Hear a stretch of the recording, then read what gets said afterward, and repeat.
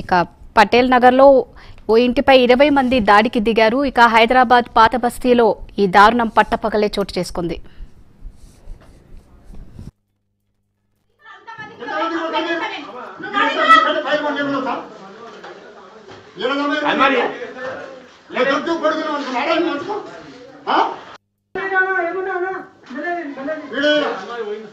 మన్నాన్ని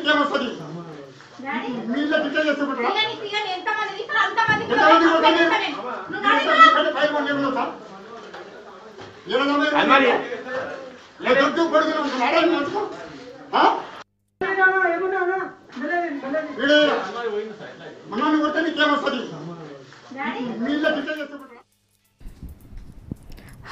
హైదరాబాద్ పాత బస్తీలో పటేల్ నగర్లో ఈ ఇంటిపై ఇరవై మంది గుంటలు దాడి చేశారు.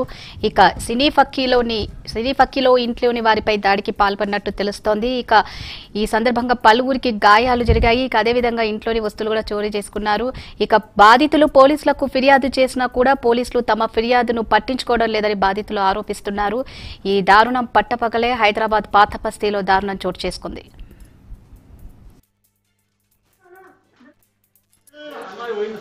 మన్నాన్ని కొడితే నీకేమొస్తుంది మీ ఇల్లు పిచ్చ చేస్తుంటారా?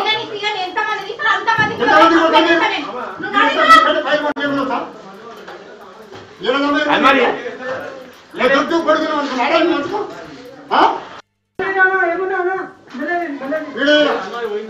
మన్నాన్ని కొడితే నీకేమొస్తుంది మీ ఇల్లు పిచ్చ చేస్తుంటారా? ఎంతమంది కొట్టండి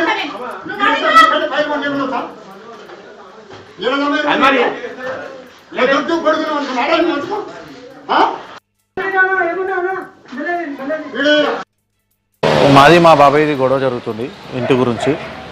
ఆ, మహేష్ నా పేరు పటేల్ నగర్లో ఇల్లు. చంద్రమోహన్ గౌడ్ మా బాబాయ్ పేరు. ఆ, పొద్దున సిపిఐ లీడర్ అని చెప్పి చెప్పుకొని తిరుగుతుంటాడు. తిరుగుతాడు.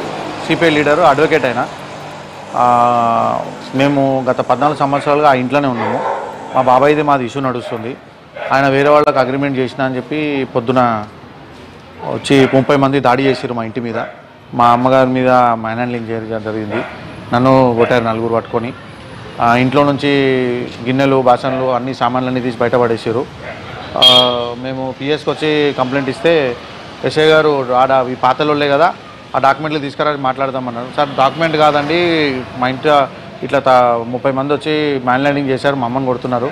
గిన్నెలను బయట పడేసారంటే ఇది మీ పాతనే కదా డాక్యుమెంట్లు తీసుకురాపోండి అని చెప్పి కంప్లైంట్ తీసుకోలేదండి. నేను హండ్రెడ్కి డైల్ చేసినాను. హండ్రెడ్కి డైల్ చేస్తే సీఏ గారు రెస్పాండ్ అయ్యారు. విద్యాసాగర్ రెడ్డి గారు. సీఏ గారు మంచిగా పిలిచి మాట్లాడి మంచిగా రెస్పాండ్ అయ్యారు నాకు. ఎస్ఐ గారు మాత్రం నాకు సపోర్ట్ చేయలేదండి కంప్లైంట్ తీసుకోలేదు.